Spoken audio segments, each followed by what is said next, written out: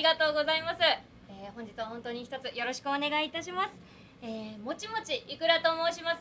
えどうしてねこんな能天気な名前なのかと申しますとえ別に餅が好きなわけではございませんで、えー昔からですね、えーほっぺたがよく伸びるなんて言われまして「餅餅」なんてね22にして恥ずかしいことやってますけど、えーあといくらの方はですね普通に好物なんですけれどもそれだけではなくてですね見た通りまん丸い顔してますんで、えーそこから取ってもちもちいくらと名乗らせていただいております、えーしかしですねこのまん丸い顔も相まりまして、えー私の性格知ってる友達からはですねやれ子供だの小動物だのなんて言われたりするわけなんでございますけれども。まあ小動物なんてのは言われて悪い気しませんね。何ですか？小動物系女子なんつって庇護欲をそそられるっていうんですか？えそんな可愛いもんじゃないんだけどなって思ったりしてえーでもまあねそういう風に言われてるのをほかっておいたんですけれどもでもよくよく考えてみればおかしな話でございます。私身長1 6 4センチございまして日本人女子の平均身長1 5 8センチなんでねまあちょっと小動物っていうには大きすぎるまあ、中動物ぐらいあるかなって思ったりするんですけれども まあなんでなのかなと思ってほかってたんですよ。それがですね今年事務所に入ってはっきりいたしました。先日マネージャーに呼び出されましてちょっともちもちさんはい何でしょう？自信ないのかもしれないんだけどさそのプレーリードッグみたいな情けない顔でこっち見ないでくれない？間抜けな顔のもちもちいくらでございます。どうぞ一つよろしくお願いします。ありがとうございます。えー、間抜けって言えば落語の世界にも随分間抜けな生き物がいるようでございます。まあタヌキなんてのはその類の一つでございまして昔から狐は七化けタヌキは矢化けと申しましてタヌキの方が一つ余計に化ける分どうもおっちょこちょいな面もあるみたいなんですがまままおいどれだいもう寝ちゃったんだい。明日にしてくんねえかな。誰だい。タヌキです。タミコかえタヌキです。タデかえタヌキですよ。なんだよはっきりしねえ野郎が来やがったな。タヌキが物言った方がわかるんじゃねえか。そのタヌキです。おふざけんなタヌキの付き合いなんざねえよおらまたなんだな夜遊びして締め出し食って俺んとこに来て止めてち止めてくれっつうんだろ。うちを宿屋かなんかと心得てやんなあらな。とにしゃねえやんたくまじない今あげるから。ほらへっ。おい。どっかへ隠れたのか？わーかなんか言って脅かそうってのかおいたどうかしてるよ夜な夜な人のうち叩いてたわけさせたり閉めさせたりちょいと。なんだなんで？タヌキでございます。タヌキってこの野郎どっから入ったんだ。あの親方開けました途端にまたぐらスーッと取って入って。ちょいと見たらずいぶんふんどしが汚れてら。うっせえなこの野郎。なんだってタヌキがこんなところに飛び込んできやがったんだい。あのなんでございますもうかなり前になりますがあのやぶ寺のとこで子供に捕まりまして危なく殺されるとこ。親方通り足して買い取って逃がしてくださいました。あのあん時の子タヌキでございますが。おーおーそうかそうか。んなことあったよ。うん。あれからどうした？えあれから穴へ帰りましてあのこと両親に申しました。親父なんてのもう大層喜んでおりましてその方実に立派な方だと涙をこぼしてまして腹叩いて感心してました。夕方はおかしいや。膝叩いて感心するってのはあるがな。そうかそんなに感心してたかい。大層立派な方そういう方人間にしておくのが惜しいっつってましたなんだいその人間にしておくのが惜しいってのは。えもうタヌキの仲間に入れても恥ずかしくないお方だと。何言ってんでタヌキのがいいと思ってやんな。まあそうかい。そんなこと言って褒めてたかい。あの親父の言うことにはおめえは助けていただいたことを忘れたのかって。一日として忘れたことはございません。忘れなけりゃいいってもんじゃない。どうしておめえ恩返しに行ってこないんだと。こう思わされまして。もっともだと思いまして。それで今晩お礼方々ご恩返しに出てまいりました。どうぞ一つよろしくお願いします。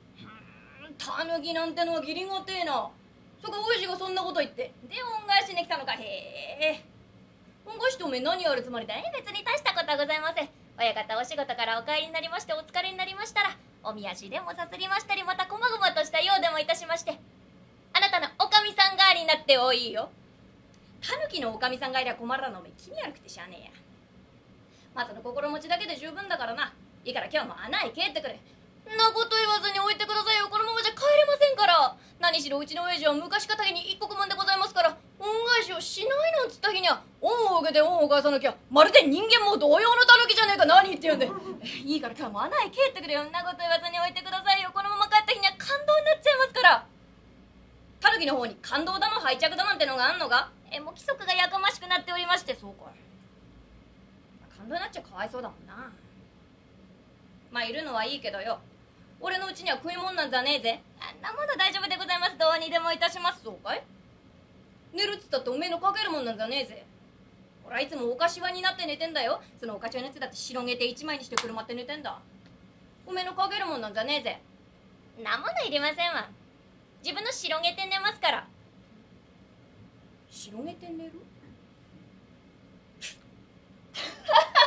いやあれか。おお話には聞いてるよタヌキの金玉八丈敷だってな。お見たことはねえがな。ちょっとここで広げて見せねえかいいいけません。八丈白岩の空親タヌキですから。私小タヌキですからほんの。4畳半ほど。4畳半？いい気じゃねえか。あったけえのかい？いいあったかいです。飲んだら半分かけましょうか。おいいよ。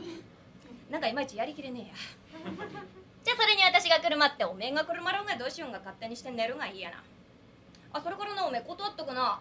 俺のうちには昼間なんざ友達が遊びに来るからなタヌキがうろちょろしてるとまずいぜ。夜は構わねえが昼間は目立たないで。えそれもちゃんと心得ておりますそうかい？じゃあ今晩遅いや。万事明日の朝ってことにしようじゃねえかな。じゃあまあ寝ることにしよう。さようでございますか。じゃあ休ませていただきます。おおいいんだいいんだ。上やって上やって。夜誰も来やしね何？畳が？遠慮すんな。畳つったって楽しがなくなって身ばかりになってんだ。何？畳は冷えていけねえ。は言うこと変わっておんなそこどまのがええんかい。ならおめえの好きにしなよ。あなんかやろうかな。隅田原かなんか。いらねえかいそうかい。じゃあまあ休みない。じゃあ休ませていただきます。おやすみなさいまし。たぬきなんてな行儀がいいな。おやすみなさいなんて挨拶してな。とぐら巻いたと思ったらもう寝ちゃったな骨付きのいいところを見るとタヌキの方に神経衰弱だなんてのはねえだろうな。大きないびきをかくねえこいつは。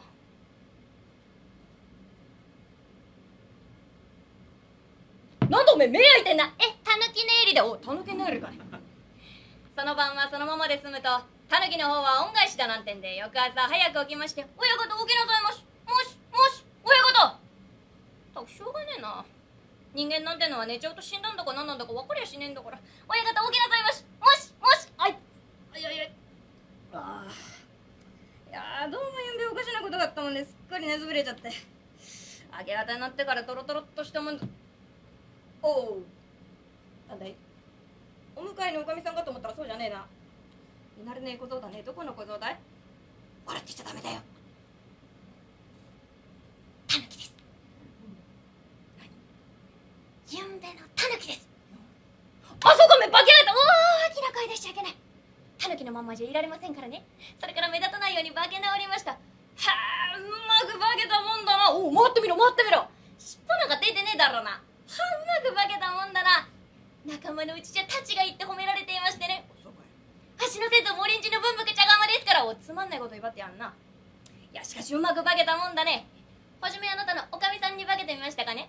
どうもおかみさんってのはなお長屋の付き合いもありますしいきなりできちゃうのおかしなもんだと思いましたからね。ですからそれもやめましてね。今度は綺麗なことに化けてみたんですよ。でもうち見る程度ずいぶん汚いところですからね。釣り合いが取れませんからね。ですからこうまあ遠慮しまして。お汚い方に化け直りました。よせよつまんねえとこ遠慮すんなよ。汚ねえところじゃねえ。ずいぶん綺麗になったのこぞっぽりいっちゃった。いやあの親方掃除なんかしたことはあんなものやったことはねえやない。吐きたいっつったってほうきはないしはたきはないしね。しょうがないんで自分の尻尾でもって吐いたりはたいたりして。おかげで尻尾の毛がずいぶん抜けちゃった。おおあんまり無理すんだよおめえ。はあたぬきなんてのは豆でいいの。おおあらいけないあら一番よくねえぞ。火の人が悪いの。引いたずら困んだ。いやもう引いたずらじゃないんですよ。もう午前の支度ができておりますから。どうぞ顔洗ってご飯召し上がるように。午前の支度？よせよおめえ飯を炊こうってったって俺のうちには米なんざねえぜ、えー、それも大丈夫でございます。ちゃんと心得てございます。変な風に心得んなよ。知ってんだぜ俺ミミズがうどんになって。馬の方がなんじゃねえかおめえ。おはぎだなんて。んなバカなこと言わない。ちゃんと買ってきましたから大丈夫なんです。買ってきましたってお前それこそおかしいよ。俺のうちには銭なんざねえんだから。え銭はありませんけど火鉢の引き出しを開けましたら古はがきが23枚出てまいりましたから。あれ持ってって買ってきました。はがきで買えんのかいい？はがきじゃ買えません。私がこう23回もなぜますとあれが立派なお札になっちゃうんです。1円札やなんかにね。それで化かして買ってきたから大丈夫なんです。へえおめえがはがきをなぜると札になんの？1円札やなんかに？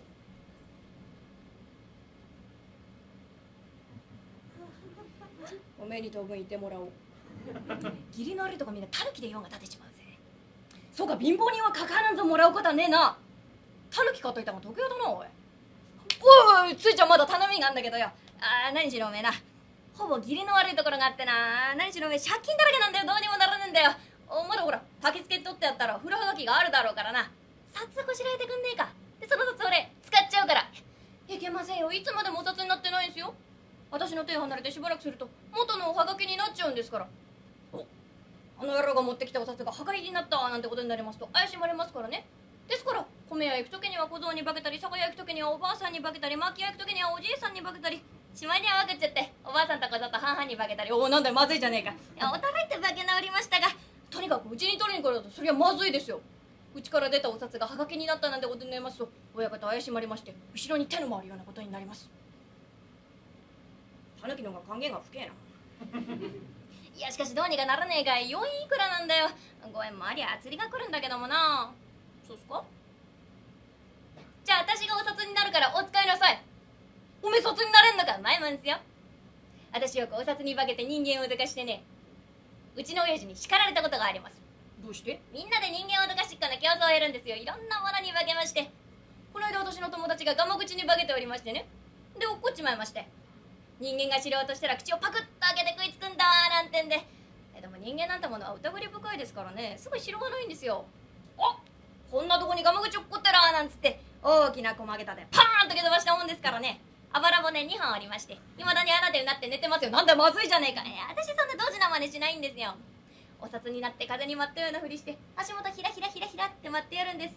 もうあたりキャラキャラしまして俺はお札だなんて言ってねえ甘くて知ろうとして手出しますからねそれバリバリって引っかいてやる。札が引っかくねえ驚きます。そりゃ驚くだろうな。たまにわって食いついてやるんですよ。もう真っ青な顔して逃げるやつ腰を抜かすやつがあるね。ええそれをみんなで大勢で木の陰で見て笑ってるんですよ。人間なんてのはバカな愚かな卑しいもんだと思って。おいおいあんまり人間を悪く言うな。俺だっておめえ人間だ。よくよかった人間っていうより。まあどっちかって言えばタヌキに近い方で何言ってんでいいから1円札56枚だ56枚ってそらボロボロにならないですから1匹1役なんですから。ボロボロダメかい。どうしてもバラバラでご利用だってなら今から穴へ帰りまして。親類一同呼び集めてよダメだよ。そんなにタヌキの連れてこられちゃ困らんな。渋谷のハロウィンじゃねえんだから。いいからまあなんとかならないかい。じゃあこう1円札が5枚重なってるなんてのは五右衛門のわらじみてえのはダメだよ。こう繋がってんのは回数券みたいになるじゃねえか。そうっすか。じゃあ分かった。おめえ5円に化けろ。な？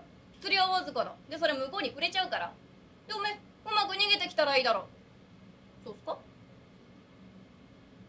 分けるっていや同じですからね。5円だろうが10円だろうが。いっそ100円札くらいになって向こうからうと釣り取ってあげましょうか。向こうの札は本物ですからね。それまそうなんだけどもな。知ってる中でそっちゃ気の毒だからな。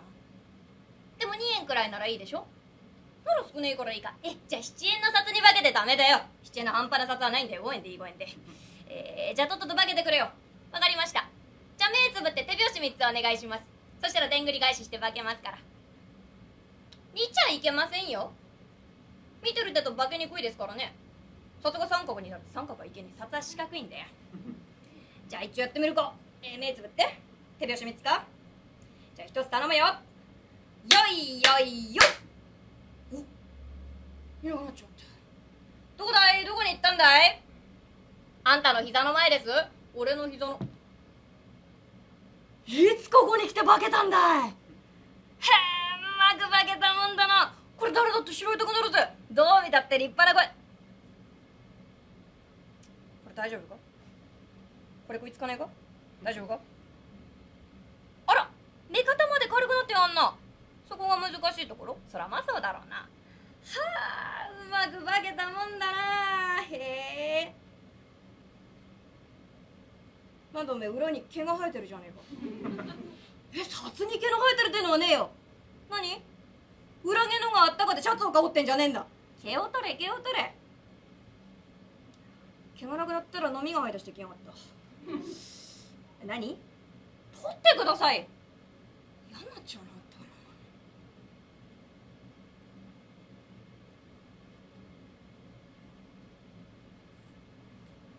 なったかな札の飲み取ったの初めてだ。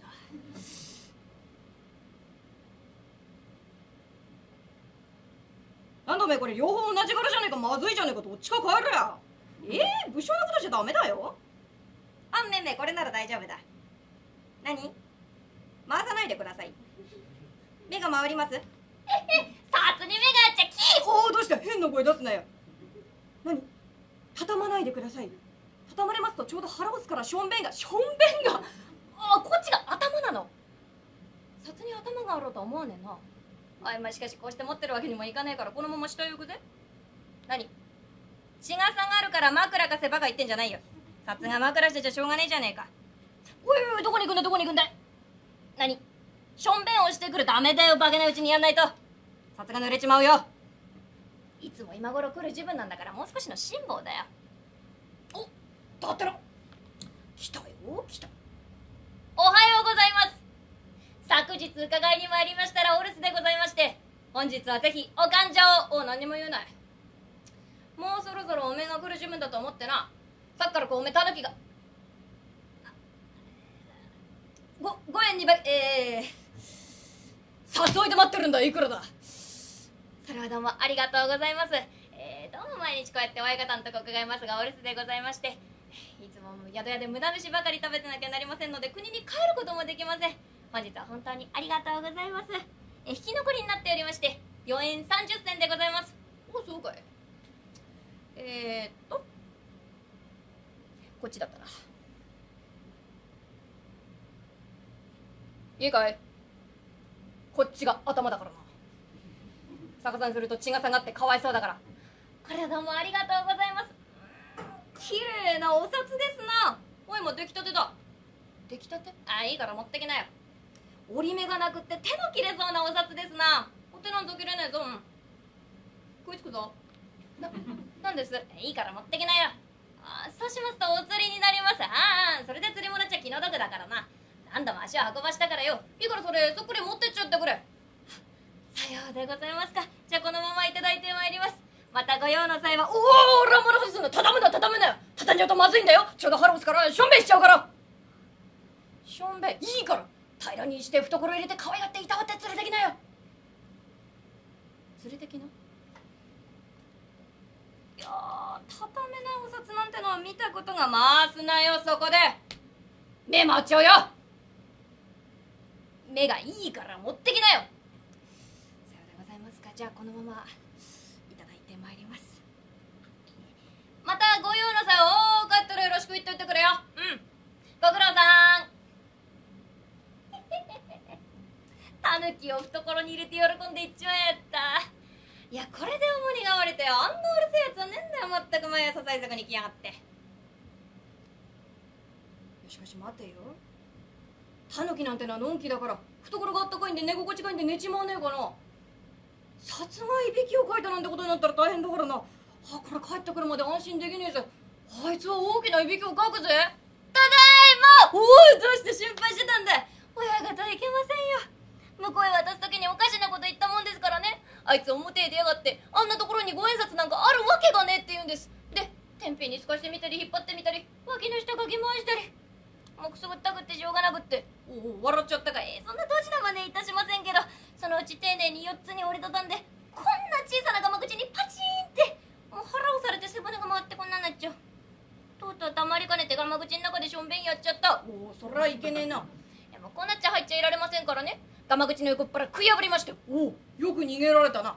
逃げてくる時にちょいと脇を見ましたらね。一円札が2枚ばかりございましたんでちょいとお小遣いに加えてまいりました。おいおい札が札加えちゃいけねえ